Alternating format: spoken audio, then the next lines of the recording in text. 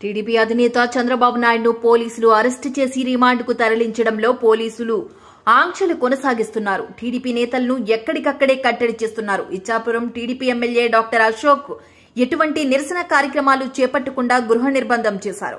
కవిటి మండలం రామయ్య పుట్టుకలో ఎమ్మెల్యే డాక్టర్ అశోక్ నివాసం వద్దకు చేరుకున్న పోలీసులు ఇంటి నుంచి బయటకు రాకుండా అడ్డుకున్నారు.